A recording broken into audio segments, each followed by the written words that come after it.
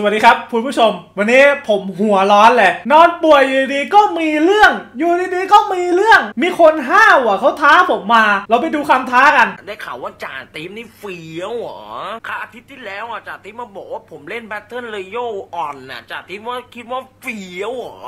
คิดว่าจ่าตีมเล่นเก่งเหรอ ทุกคนรู้จักไหมจ่าตีป่ะเนี่ยวันศุกร์เนี้ยเจอกันจ่าตีผมขอท้าจ่าตีเลยจ่าตีกล้ารับคำท้าหรือเปล่า กติกานะใน Battle Royale นะ ไลฟ์แข่งกันนะ ไม่เอาแบบว่าอัดคลิปมานะ มันตัดต่อได้ ไลฟ์สดสี่เกม หลุดไม่นับ ใครทำลายสถิติได้มีสถิติที่ดีกว่าเนี่ย ชนะไป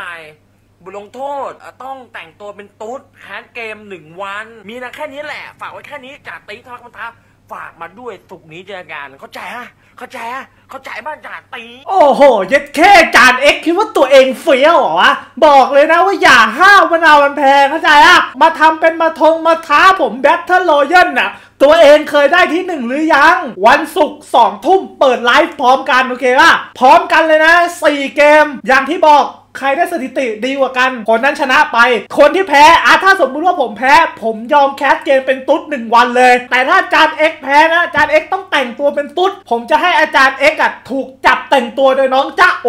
แล้วถ้าน้องจ้าโอได้ดูคลิปนี้นะทำคลิปตอบกลับมาด้วย ว่าเชียร์ใครเชียร์จ่าตีมหรือเชียร์อาจารย์เอ็กโอเคปะ เข้าใจปะวันศุกร์นี้สองทุ่มโอเคนะสี่เกมหลุดไม่นับ ตามนี้นะอาจารย์เอ็กโอเคอะอย่าทำเป็นเฟี้ยวโอ้โหบอกคนนู้นคนนี้เฟี้ยวอย่างงู้นอย่างนี้ แล้วใครที่ดูคลิปนี้นะ อยากจะไปตอบวิดีโอของอาจารย์เอกนะทิ้งลิงก์ไว้ด้านล่างเลยเข้าไปถล่ม เอาให้ยับ เอาให้ยับ โอเคป่ะ skill เข้าไป skill เข้าไปเยอะๆ เฟซอาจารย์เอกอะถล่มให้ยับ แล้วมันสุกร์เรามาเจอกันดีกว่าสองทุ่มจัดไปเลย เดี๋ยวรู้กันอาจารย์เอกเดี๋ยวรู้กัน ศพที่แล้วก็พูดเงี้ย